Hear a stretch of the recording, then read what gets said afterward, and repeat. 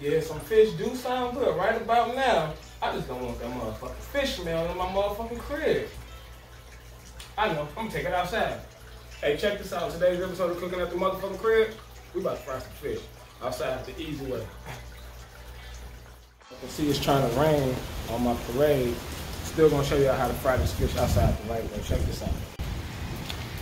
So even though it rained, I still managed to get a good fire going on my cast iron skillet. So back to what I gotta do.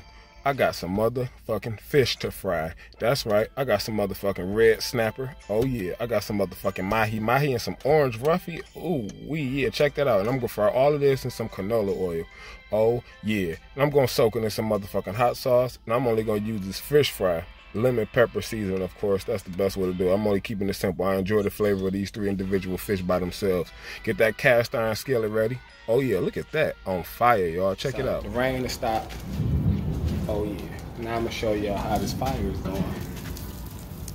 Oh yeah, and it's going well. I added some motherfucking corn with some husk on there to keep that fire going.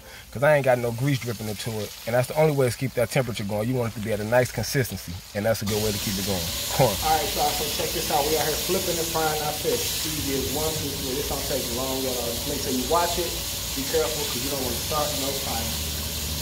Alright. So yeah, after watching this fire, I realized the fire caught fire up under the bottom of the skillet. So check this out. Keep my little water bottle on deck just to keep the temperature down and to put that fire out.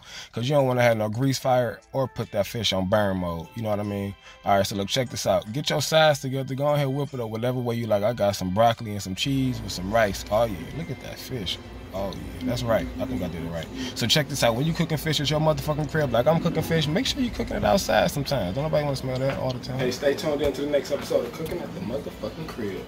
Make sure you like and subscribe.